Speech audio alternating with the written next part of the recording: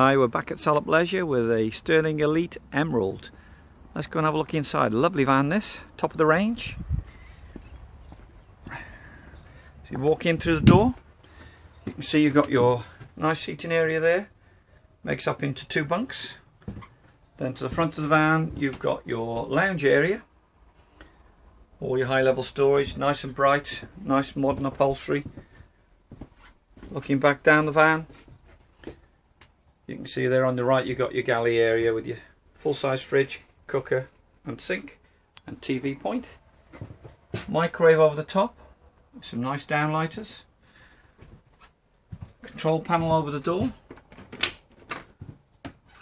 And then in the rear you've got your rear washroom with full-size shower. Your vanity unit in the middle and your toilet and wardrobe. If you notice there's a radiator in the bathroom. So this van has got central heating, Alde central heating. So it's really well spec Come see it at Salop Leisure.